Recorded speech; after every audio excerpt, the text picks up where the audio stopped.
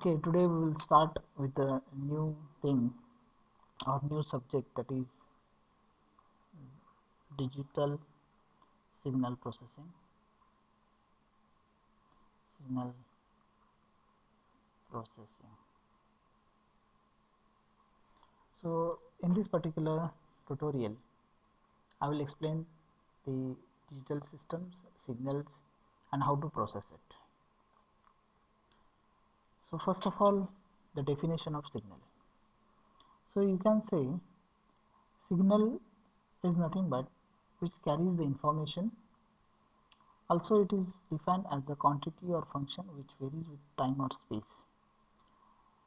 Examples are given like speech signal video pressure sensor output etc generally the signals any signals can be classified as continuous signals or it is the broad classification of signal that is continuous signal and discrete signal.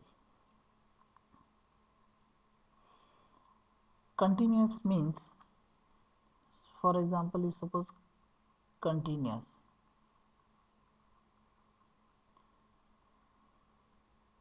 so continuous means the signal is everywhere it present for each and every value. There is some value in a continuous signal.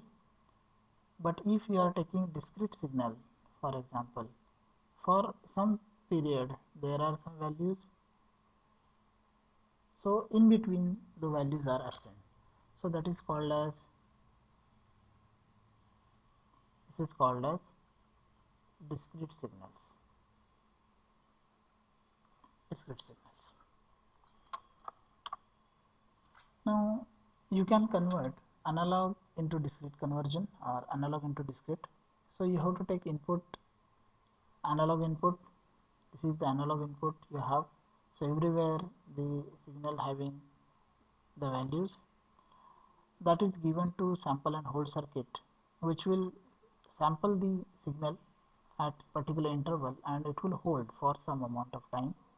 So the output will be as a discrete signal so this is nothing but analog to discrete conversion.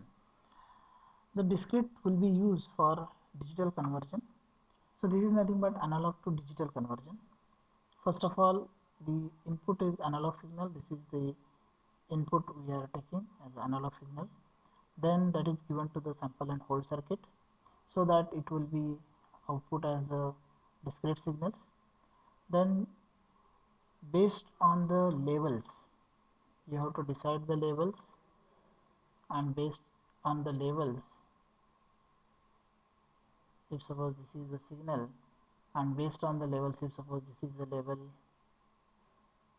levels and based on that you have to give the the digital output. So this will be nothing but analog to discrete or digital conversion inputs is continuous one. It is given to sample and hold circuit then next it is output signal is discrete that is given to the quantization and then output in this in terms of digital. So this is nothing but analog to digital conversion